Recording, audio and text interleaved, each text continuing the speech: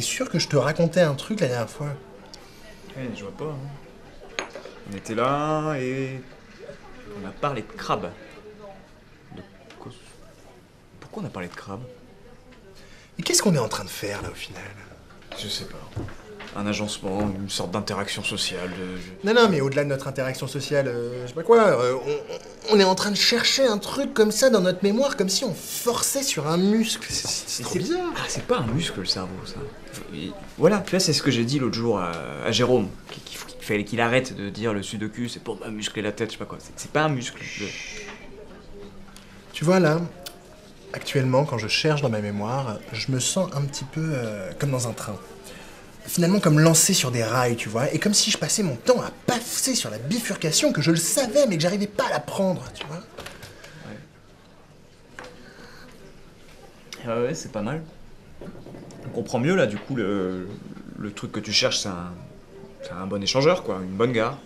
Mais parce que, au final, on a tout le temps l'impression que nos souvenirs, ils sont comme bloqués dans un tiroir, comme ça, mais. Ouais, ou dans des locaux d'archives, là, par, par ordre alphabétique. Ouais, comme un petit DVD que t'aurais à prendre, comme ça. Mais c'est- c'est pas ça. Parce qu'au final, t'as un bout de ton souvenir sonore qui est stocké là, un bout de ton souvenir lumineux qui est stocké là, euh, un bout de ton émotion qui est stocké là. C'est- un réseau, c'est- un circuit, et puis il suffit de trouver la bifurcation, et pouf, tu reviens dessus. D'ailleurs, ton cerveau marche comme ça, ton influx nerveux circule comme ça dans les différentes zones sensorielles, et c'est la trace qui est laissée qui fait le souvenir, la trace mnésique qu'on appelle ça. Hmm, du coup, les amnésiques, c'est beau ça. En fait, c'est des types qui ont perdu leur route, ou perdu leur trace. Exactement. Ils savent plus d'où ils viennent. Et, tu vas faire comment, toi, pour retrouver le, le sujet de la conversation de la dernière fois Je sais pas, il faut que je trouve un truc, tu vois, une image, un son, n'importe quoi. Et après, si tu trouves le bon réseau, bah pouf, tout le souvenir revient. Ouais, là, t'as. T'as une sorte de, de, de retard, de panne technique, Ouais. Je sais pas, une manette qui est rouillée. ou- une grève. Bacon Exactement. Oh putain Ah, déjà vu Oh, je viens d'avoir déjà vu. Le, comme le bug dans la matrice, tu sais. euh. Ah ouais, non, non, je te jure, j'ai déjà vu cette scène.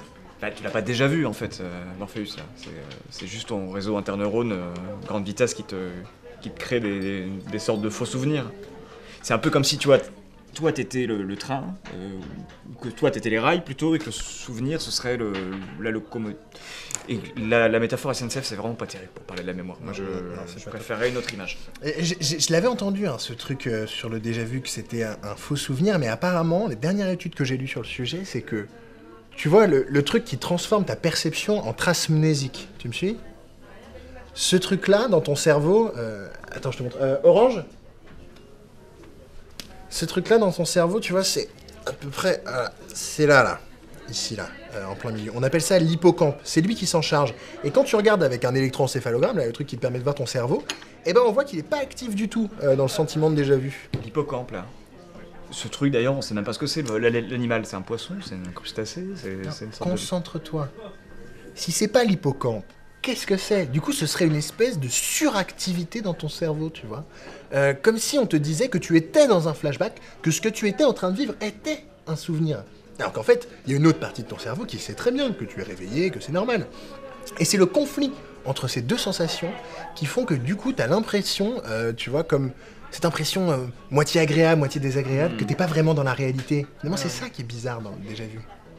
Moi, il y a un truc que je trouve bizarre aussi, c'est le l'espèce de tri sélectif euh, de la mémoire. Pourquoi on arrive à se souvenir de, de trucs complètement insignifiants et pourquoi les trucs dont on, on aimerait se souvenir, dont on fait l'effort de se souvenir, comme euh, je sais pas la capitale du Zimbabwe, pourquoi on n'arrive pas à s'en souvenir? Pourquoi moi j'arrive pas à me souvenir de la capitale du Zimbabwe? C'est Harare. Tu vois, avec l'émotion, ça permet de vachement mieux fixer les souvenirs. Finalement, ça fait des traces profondes quand t'as des émotions fortes, tu vois. Ça fait peur aussi. Oui, mais Harare, tu vas t'en souvenir. Bacon on parlait Cléo. Elle a un truc avec le bacon. J'ai pas compris. Parce c'est quoi. Euh, bacon.